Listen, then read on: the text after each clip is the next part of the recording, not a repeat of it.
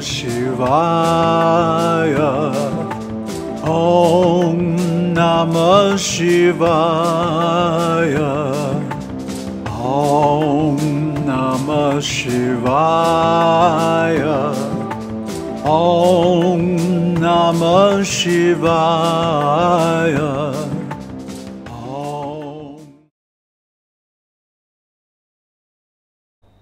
O Suta of great intellect, thou art extremely blessed and omniscient. By thy favor I am gratified to satiety again and again. My mind rejoices much on hearing this old anecdote about Devaraj. Please narrate another story, equally increasing devotion to Shiva. Nowhere in the world are those who drink intoxicating beverages honored with liberation. But in regard to the nectar of the story of Shiva, it is different. When drunk, it straightway accords salvation. Thou art blessed, blessed indeed. Blessed, blessed is the story of Shiva, on hearing which a man attains Shiva Loka. Suta said, O Shaunaka, please listen. I shall tell you, though it is a great secret, since you are the foremost among Vedic scholars and a leading devotee of Shiva. There is a seaside village, Bashkala, where sinful people bereft of Vedic virtue reside. They are wicked debauchees with deceptive means of livelihood, atheists, farmers bearing weapons, and adulterous rogues. They know nothing about true knowledge, detachment, or true virtue. They are brutish in their mental makeup and take great interest in listening to evil gossip and slander. People of different castes are equally roguish, never paying attention to their duties.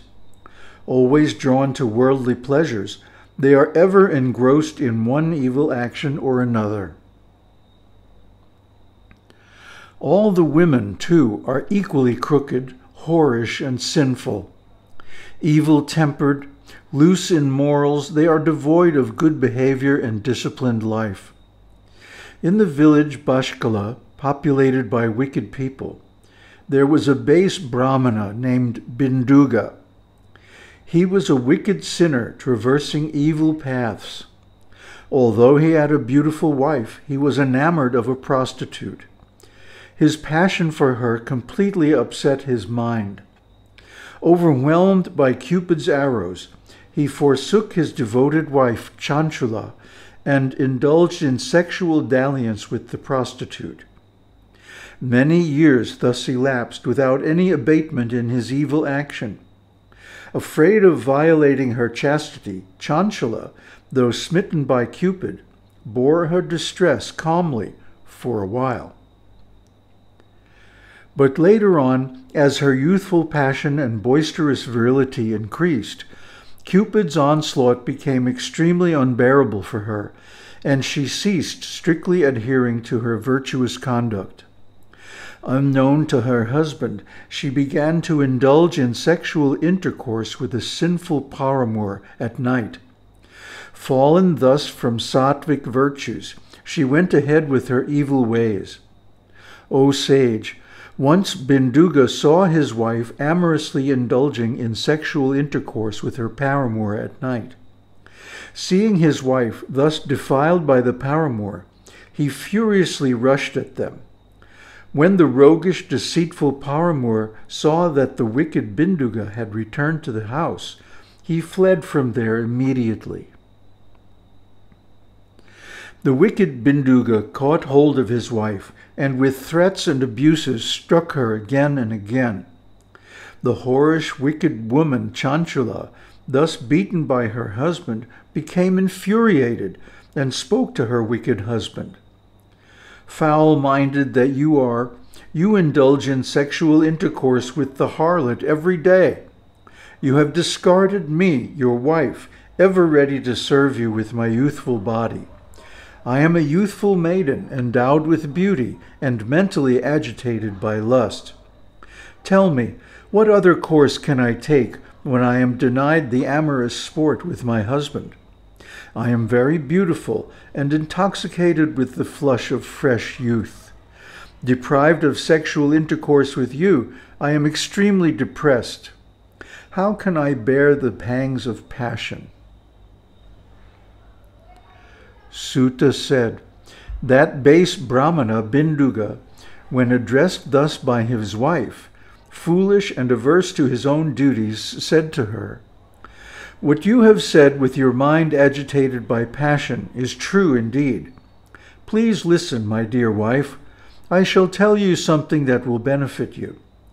You need not be afraid. You go ahead with your sexual sports with any number of paramours. No fear need enter your mind. Give them enough sexual pleasure and extract as much wealth as you can from them. You must hand over all the amount to me. You know that I am enamored of my concubine. Thus our mutual interests will be assured. Suta said, Binduga's wife Chanchula on hearing these words of her husband, became extremely delighted and assented to his vicious proposal. Having thus entered into their nefarious mutual contract, the two wicked persons, husband and wife, fearlessly went ahead with their evil actions. A great deal of time was thus wasted by the foolish couple indulging in their vicious activities. The wicked Binduga the Brahmana with a Sudra woman for his concubine, died after some years and fell into hell. The foolish fellow endured distress and torture in hell for many days. He then became a ghost in the Vindhya mountains, continuing to be terribly sinful. After the death of her husband, the wicked Binduga, the woman Chanchula continued to stay in her house with her sons, the woman foolishly continued her amorous dalliance with her paramours till she lost her youthful charms. Due to divine intercession, on an auspicious occasion she happened to go to the Gokarna Shiva temple with her kinsman. Casually moving about here and there with her kinsman, she happened to take her bath in a holy pond as a normal routine affair a scholar of divine wisdom was conducting a discourse on the holy Shiva Purana in the temple, some of which she happened to hear. The portion that fell on her ears described that after death, the Yamadutas would force red-hot iron into the vaginal passage of women who indulge in sexual intercourse with a paramour. This narrative of Shiva Purana intended to increase detachment, made the woman tremble with fear. At the end of the discourse, when the people dispersed, the terrified woman approached the scholarly Brahmana and spoke to him in confidence. O noble sir, I performed many ignoble activities without knowing my real duties. O Lord, blinded by lust, I spent the whole of my youth in incontinent prostitution.